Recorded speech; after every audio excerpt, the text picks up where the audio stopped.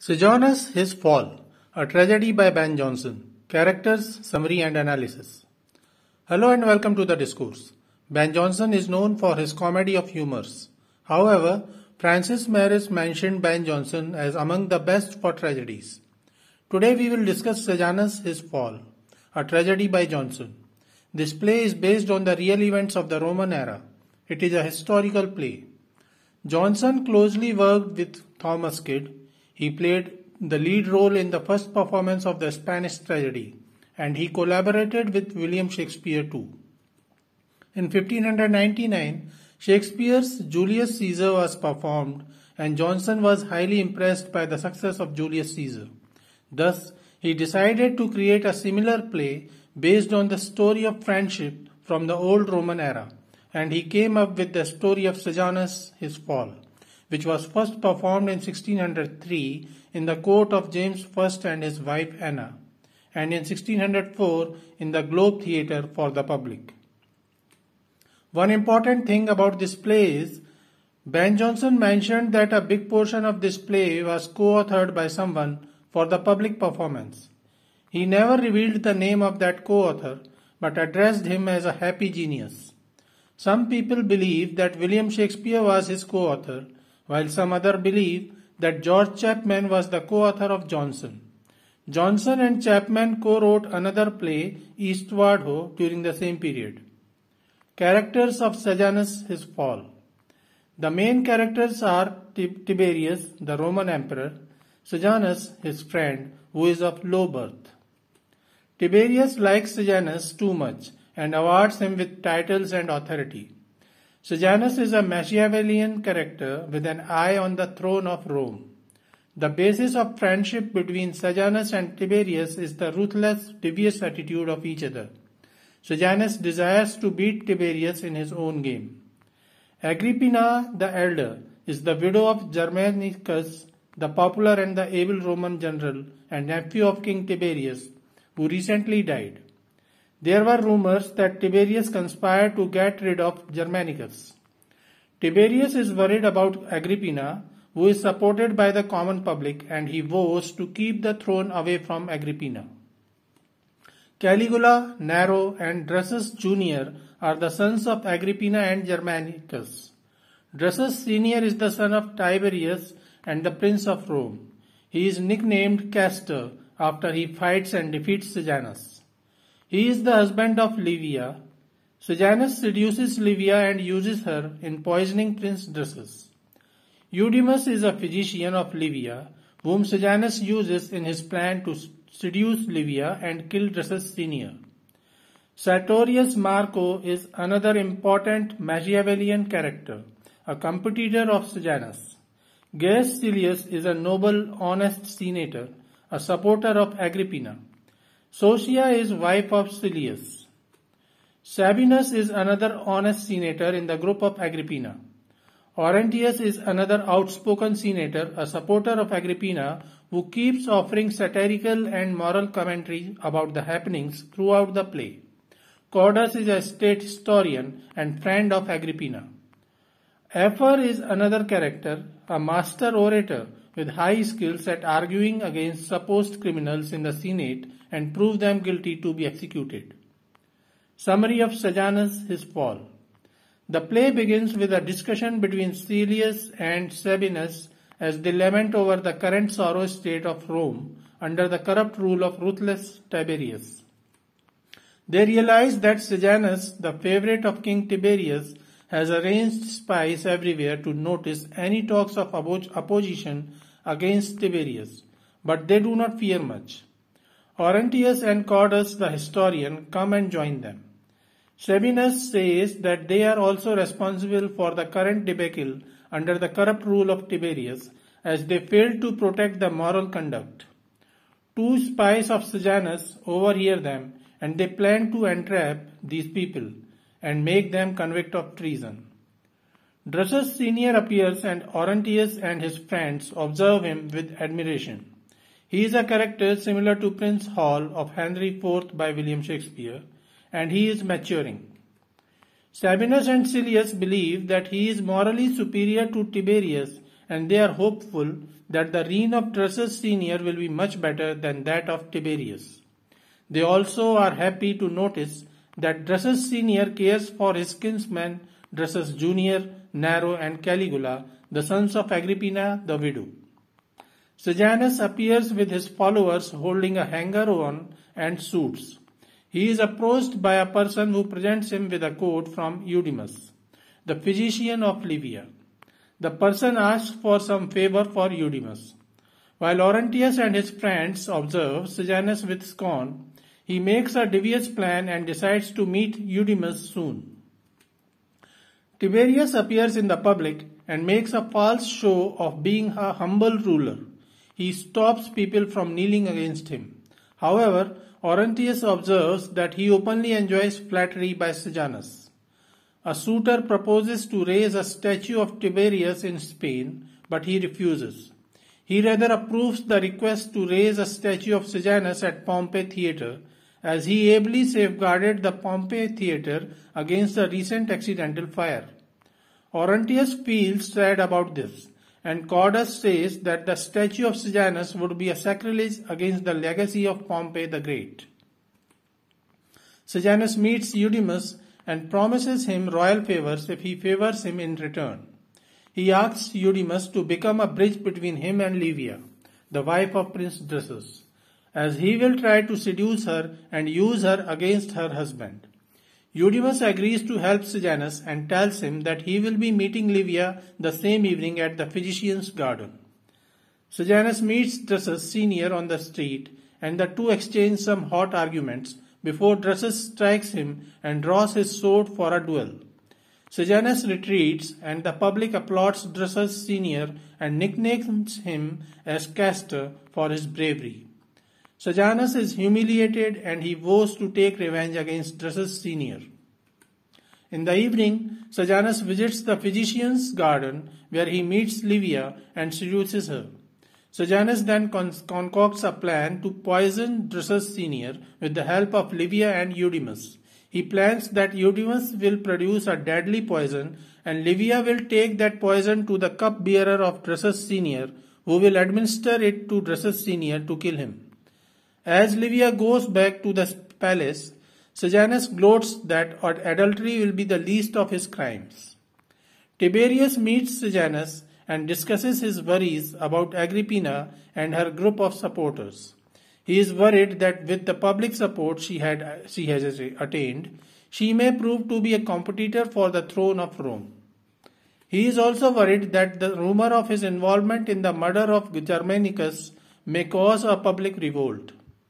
Sejanus suggests that Tiberius should shower favors on the supporters of Agrippina and win their trust, and then he should strike them to get rid of them when they least expect it. Tiberius agrees with the plan and he praises Sejanus. Sejanus then suggests that Tiberius should first strike against Gaius Silius and make an example of him, as he is the strongest senator in the group of Agrippina. Sejanus suggests that striking and removing Silius will cause fear in the hearts of other supporters of Agrippina and they will leave her aside. Tiberius agrees with Sejanus. Later on, Sejanus meets with, with his spies who inform him that the group of Agrippina has become more cautious and it is now becoming difficult, difficult to trap them. Sejanus says that the gathering of these people at the palace of Agrippina is itself proof of treason against Tiberius. He then decides to encourage Tiberius in taking action against the group of Agrippina and sends a messenger to Augusta, mother of Tiberius, to inform her about the danger of Agrippina. This message is a calculated ruse to make Tiberius more worried against Agrippina so that Sejanus may use him to get rid of his own enemies in the group of Agrippina. At Agrippina's house, Silius sees Afer, a known supporter of Sejanus, who is skilled at bringing the supposed criminals to conviction in front of the Senate. He warns Agrippina about the spies of Sejanus, but she ignores him and tells him that he worries too much. Soon a messenger brings news that Prince Drusus Senior is very ill and he is dying. Silius immediately suspects that Sejanus has used Livia and Eudemus to poison Drusus Senior, as he heard the rumor about Livia's meeting with Sejanus at the physician's garden. Sejanus meets Varro, the consul, and plans to accuse Silius of treason. He plans that Varro will head the Senate as Tiberius is too busy lamenting the death of his son. Sejanus suggests that Afer will present the case against Silius. The next day, when the Senate meeting begins, Silius is called to answer charges against him. The whole Senate is surprised as Silius is a known, honest and ideal senator. Before Silius may appear to answer the charges, Tiberius comes in the Senate along with Caligula, Nero and Drusus Jr. and asks the head of Senate to grant preferment for his nephews as after the death of his own son, his nephews are his legal heirs. It was a plan of Sejanus and Tiberius to divert any suspicion on their act of strike against the supporters of Agrippina. Silius is accused of extortion and treason. Afer argues against him. Silius ably counters each argument but realizes that politics demands his execution and there is no hope of him avoiding the conviction. He reminds the Senate about the good works he did for the benefits of Rome as an honest and devoted senator and citizen, and then he draws his sword and rips his own throat to avoid the death of ignominy. Tiberius feigns that he wanted to grant pardon to Silius and suicide was his wrong decision. On the other hand, Tiberius orders arrest of Sosia, wife of Silius, and forfeiture of all the property of Silius. After that, Cordus the historian is called in front of the Senate, and he is also charged with treason by spreading rumors and concocting lies against Tiberius in his books. Cordus defends himself but couldn't win against Afer. Tiberius orders to imprison him and keep him under arrest till the next hearing, when he will decide his fate. He also orders to ransack the library of Cordus and burn all the copies of books that he wrote. Tiberius and Sejanus then discusses the, their next target. Tiberius is offended by Arruntius who openly speaks against him and wants to silence him forever. However, Sejanus argues against this and says that Arruntius is outspoken and he encourages others to show their support to Agrippina, which allows them to point out the enemies of Tiberius. Hence, he should be spared for the time being and should be used as a bait to catch others. Tiberius decides to target Sabinus next. As Tiberius is happy at his success in weakening the group of Agrippina, Sejanus takes his chance and asks Tiberius to give Livia's hand to him in marriage as she is now a widow. This rings bells of alarm in Tiberius's mind.